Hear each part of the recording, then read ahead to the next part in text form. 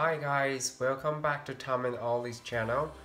So um, today I'm going to um, make another dish. Um, so I'm gonna show us again, and because today I'm gonna teach you guys how to make a lovely seafood that I just pick um, from English market. So today I'm quickly gonna show um, it's again the step by step, so you'll be easily to follow and you can easily make at home and if you love seafood you can uh, definitely try this. And I'm gonna show you what we're gonna make today. So now uh, today the main dish is going to be the sea bass.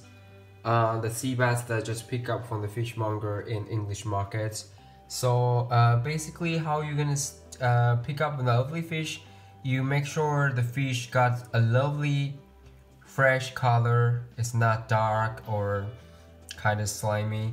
And also very important from the fish eye if it's kind of clear and kind of a shine that means the fish still fresh. So um, the whole fish normally I will do at home.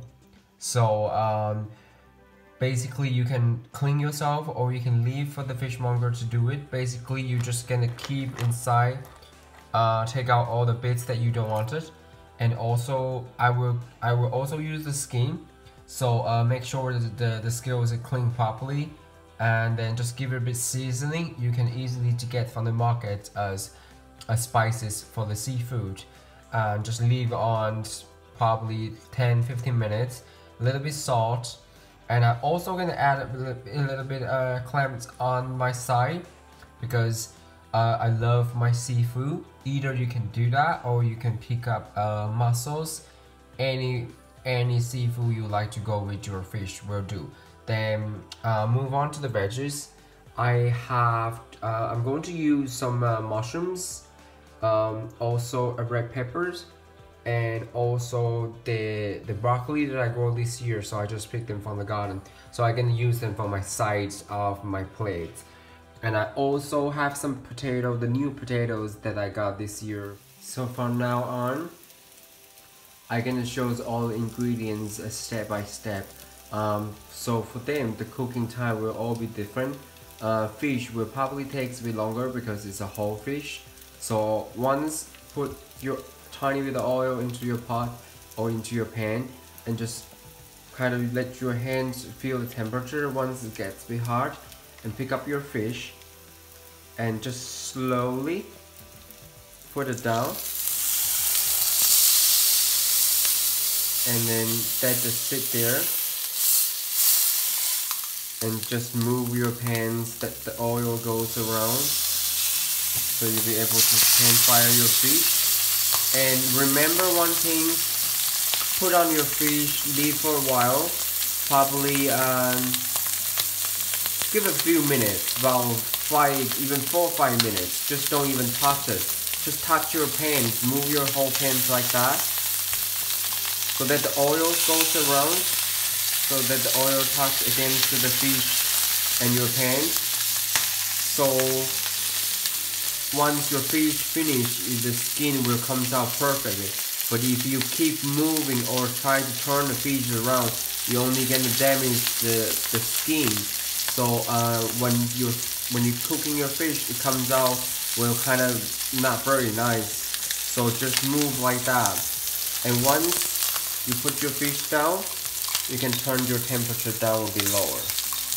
So just let it cook away 4 or 5 minutes and slowly turn your fish to the other side.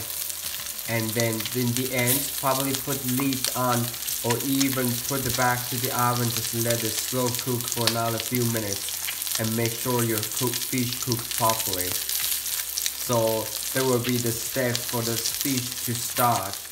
So once your fish cook will be both are like this kind of crispy and you can probably leave your oven preheat around 160 to 180 just the temperature. And so you can probably leave nearly finish your cooked but you're probably not sure if you cook 100% properly. So you can put on the plate and just keep in the oven to keep the keep warm. Also let the heat just make sure the fish cook properly and at the time now I'm going to show how to do your um, clam or even if you choose the mussels and I also will do the vegetable for the following step. And also some people would probably, when the fish would roll, you can probably use the knife, just make a tree or two, depends how big the fish.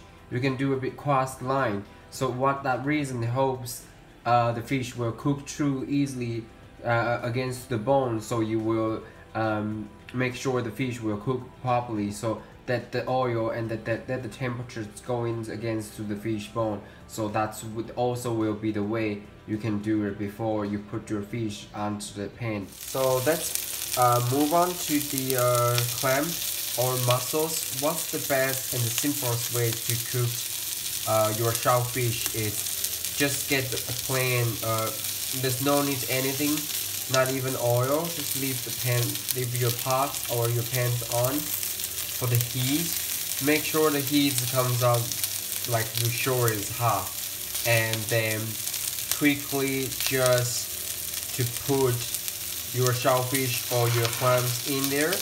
If you have some white wine or if you don't just put a piece or tiny bit of the garlic in there just give it a bit flavor and will comes out lovely with the sauce comes out automatic from the seawater. So you don't have to add anything in there.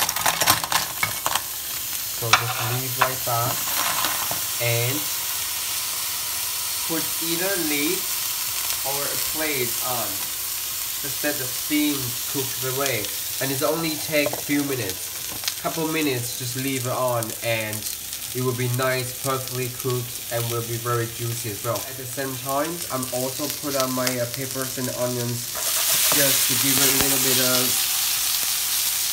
cook.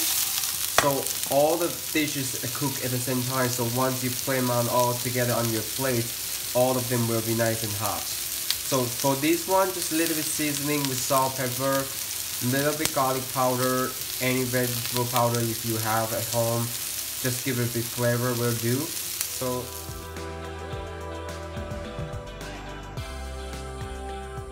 so now that's the whole dish already on the plate. So I guess my dinner's ready. So that's the vegetable I was cooked earlier. Also as I was saying the clam was only cook couple minutes.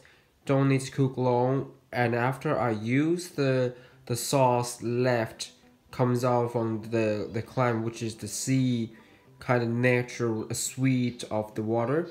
Um, I also make a parsley sauce, which is the white parsley, uh, the parsley with the white sauce cream with the tiny bit of the white wine, and adding with the sauce coming out from the clam, and then I'm just gonna pour it over of my dinner. Because I like to keep my uh, fish skin crispy so I gonna leave the sauce uh, on the side. So um, if you personally like to have the sauce over you can just pour the sauce over. So today there's the sea bass uh, with clam and also um, a fresh garden vegetable on the side and new potatoes as garnish I hope you be able to make the dish like this which is very simple and only takes you 15 minutes you can make lovely seafood dinner at home for yourself or your, for your friend. If you like my video, uh, please share and subscribe please.